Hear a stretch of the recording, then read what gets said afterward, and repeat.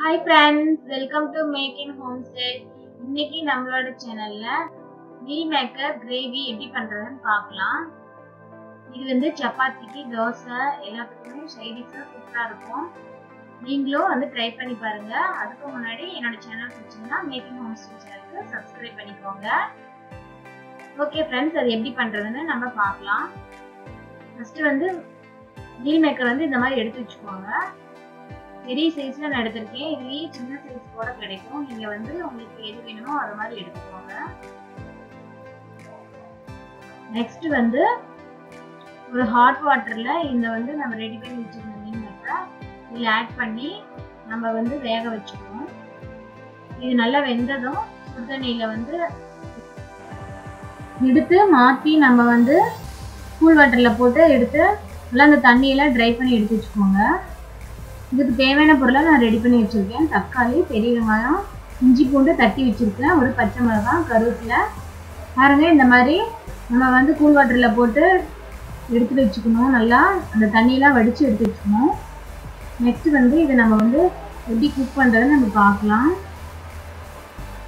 ஸ்டவ்வில் வந்து ஒரு கடாய் வச்சுக்கோங்க. அதில் வந்து ஆயில் வந்து ஆட் பண்ணிக்கோங்க. உங்களுக்கு எவ்வளோ தேவையோ அதுக்கு தகுந்த மாதிரி நீங்கள் ஆட் பண்ணிக்கோங்க. ஆயில் ஹீட் ஆனதும் கடுகு வந்து ஒரு கால் டீஸ்பூன் ஆட் பண்ணிக்கலாம்.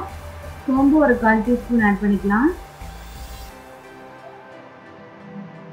நல்லா இது வந்து வெடிச்சதும் எல்லாம் கடுகு சோம்பு பொரிஞ்சதுக்கு அப்புறமா நம்ம ரெடி பண்ணி வச்சிருந்த வெங்காயம் இதெல்லாம் போட்டு நம்ம தாளிச்சுக்கலாம்.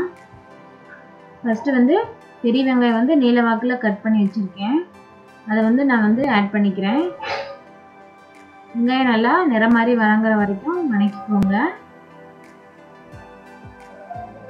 இது கூட வந்து இஞ்சி பூண்டு பேஸ்ட்டு நான் வந்து தட்டி வச்சுருக்கேன் கொஞ்சமாக ஒரு டீஸ்பூன் அளவு. அதையும் வந்து நம்ம வந்து இதில் வந்து ஆட் பண்ணிக்கலாம். அப்புறம் ஒரு பச்சை மிளகா. அப்புறம் கருவேப்பிலை வந்து கொஞ்சமாக எல்லாத்தையும் சேர்த்து நல்லா கிளறி விட்டுருங்க.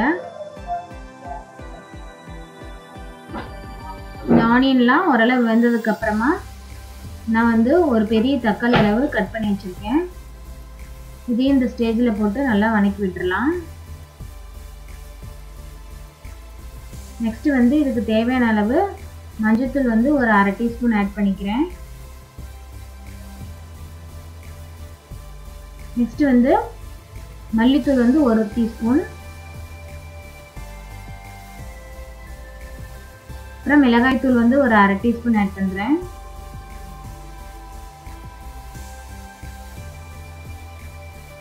நெக்ஸ்ட் வந்து கிரேவிக்கு குருமா மசாலா வந்து நான் கரம் மசாலா ஆட் பண்ணுறேன் இதுக்கு தேவையான அளவு உப்பு வந்து நம்ம ஆட் பண்ணிக்கலாம். இது எல்லாத்தையும் நல்லா மிக்ஸ் பண்ணிக்கோங்க. இந்த மசாலா தக்காளியில் நல்லா வெந்து வர்றதுக்காக நம்ம வந்து தண்ணி வந்து கொஞ்சம் ஆட் பண்ணிக்கலாம்.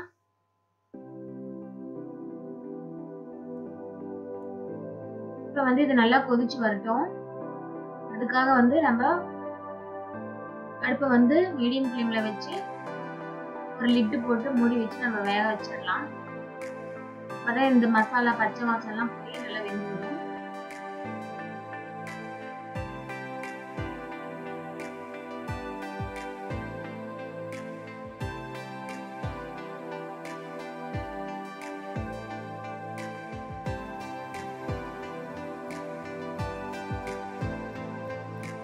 நெக்ஸ்ட்டு ஒரு டென் மினிட்ஸ் வந்து நல்லா வெந்ததும் நம்ம வந்து ஓப்பன் பண்ணி பார்க்கலாம். அதுக்கு முன்னாடி தேங்காய் வந்து ஒரு ரெண்டு மூணு கீத்து ஒரு மூணு முந்திரி போட்டு அரைச்சி எடுத்துக்கோங்க. இப்போ நம்ம ரெடி பண்ணி வச்சுருந்த மீல் மேக்கரை வந்து இந்த ஸ்டேஜில் ஆட் பண்ணிக்கலாம். இந்த மசாலாலாம் மீல் மேக்கரில் வந்து வரணும். அது வரைக்கும் நம்ம கொஞ்சம் நேரம் இதை வந்து வணக்கி விடலாம் நல்லா. ஓரளவு வணங்கினதும் நம்ம அரைச்சி வச்சுருந்த தேங்காய் விழுதை வந்து நம்ம இதில் வந்து இந்த ஸ்டேஜில் ஆட் பண்ணிக்கலாம். இது நல்லா கொதிக்க விடுங்க. உப்பு காரெல்லாம் பார்த்துட்டு நீங்கள் நல்லா கொதிக்க விடுங்க. உங்களுக்கு எவ்வளோ வேணுமோ அதுக்கு தகுந்த மாதிரி நீங்கள் வந்து குழம்பு ரெடி பண்ணிக்கலாம். உங்களுக்கு கெட்டியாக வேணும்னா அதுக்கு தகுந்த மாதிரி ரெடி பண்ணிக்கோங்க. இல்லைன்னா கொஞ்சம் கிரேவி மாதிரி வேணும்னா அதுக்கு தகுந்த மாதிரி பண்ணிக்கலாம். இதுக்கு கலருக்காக வந்து நான் காஷ்மீரி மிளகாய் தூள் வந்து ஒரு அரை டீஸ்பூன் ஆட் பண்ணுறேன் கொஞ்சம் கலர் வந்து ரெட்டிஷாக வரணும்னு. நீங்கள் வேண்டாம்னா அப்படியே கூட விட்டுறலாம். இப்போ நம்மளோட சப்பாத்திக்கு தேவையான gravy meal maker gravy ready ஆயிடுச்சு. கடைசியில் கொத்தமல்லி தலை வந்து ஆட் பண்ணிக்கலாம். சூப்பரான சைடிஷ் நம்மளுக்கு சப்பாத்திக்கு ரெடி ஆயிடுச்சு. ஓகே ஃப்ரெண்ட்ஸ் நீங்களும் வந்து இதை வந்து வீட்டில் ட்ரை பண்ணி பாருங்கள் எப்படி இருக்குன்னு எனக்கு கமெண்ட் பண்ணுங்கள் என்னோட சேனல் பிடிச்சதுன்னா மேக் இன் ஹோம் ஸ்டைல் சேனலுக்கு மறக்காமல் சப்ஸ்கிரைப் பண்ணுங்கள் லைக் பண்ணுங்கள் ஷேர் பண்ணுங்கள் பெல் பட்டன் கிளிக் பண்ணி வச்சுக்கோங்க. அப்போ தான் உங்களுக்கு நோட்டிஃபிகேஷன்லாம் வரும். என்னோடய வீடியோ நீங்கள் தொடர்ந்து பார்க்க முடியும். ஓகே ஃப்ரெண்ட்ஸ் நம்ம மீண்டும் நெக்ஸ்ட் இன்னொரு வீடியோவில் பார்க்கலாம். தேங்க்ஸ் ஃபார் வாட்சிங் தேங்க்யூ